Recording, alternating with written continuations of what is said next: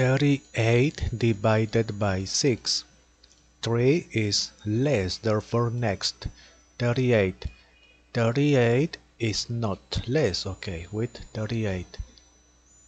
6 multiplied by which number is nearest to 38, but not greater. 6 multiplied by 7 is 42 is greater. Multiplied by 6 is 36, okay, is not greater.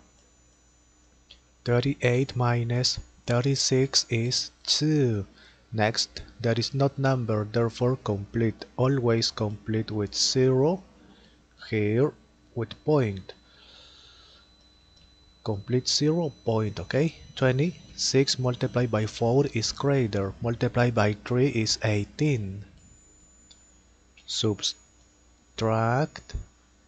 complete, always complete with 0, 0 point, okay? 20.